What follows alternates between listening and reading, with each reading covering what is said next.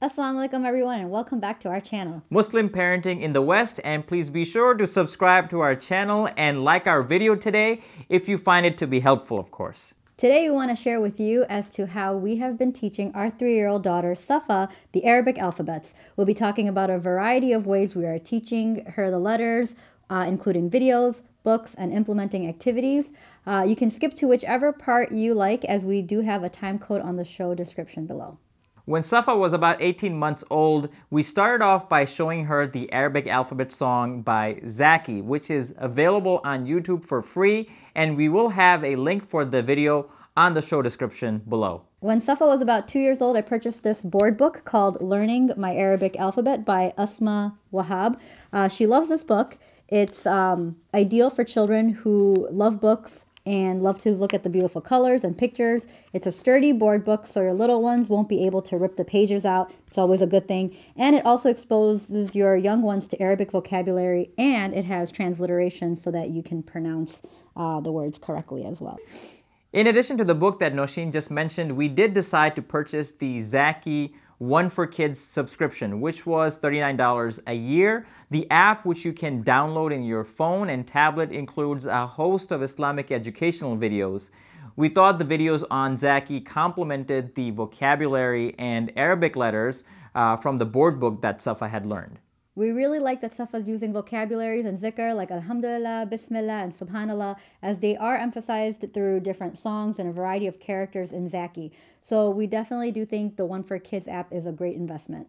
Safa also loves her Omar and Hana cartoons on YouTube, which also contributed to her learning Arabic letters, as well as the zikrs like Bismillah and Alhamdulillah. Our friend gifted us these wonderful Arabic phone puzzles. We play Arabic alphabet hunt, where I ask Safa to find us a specific letter and she'll search around the house to identify the letter and bring it to us.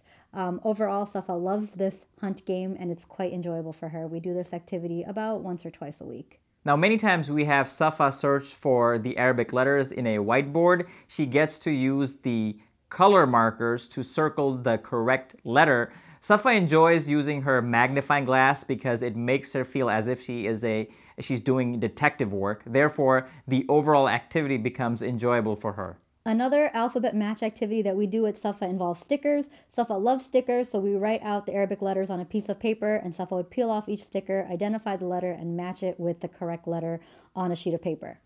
We have purchased the Noorani Qaida book recently, written by Sheikh Nur Muhammad Ar-Rai. The, this is, of course, the traditional method of teaching Arabic to your children, which is the way I learned uh, growing up. We have not used the lessons in this book yet for Safa, uh, but given her age, we, we may be using it more as she grows older. We made a colorful Arabic alphabet chart in Safa's room, and we tend to go over the letters with her every few days just for exposure.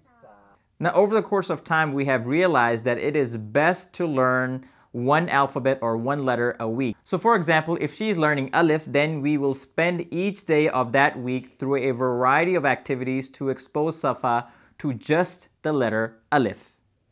Recently, Safa and a couple of friends in the community who are similar age to Safa have started a Zoom class. Uh, they're about 20 minutes long. The activities in the Zoom class are based around the Arabic letter of the week, including the Arabic alphabet sing-along, a read aloud, and art activity that goes with the letter. Examples during this Zoom class include using Play-Doh to make the letter that we are learning. Also, we do a craft that goes with each letter. For example, for the letter Alif, we made a lion puppet since Alif is for Asad, meaning lion in Arabic. Um, this also teaches them a little bit of vocabulary. We know that each one of us are either good visual, auditory, tactile, or a kinesthetic learner. So we can learn from watching, listening, or doing hands-on work.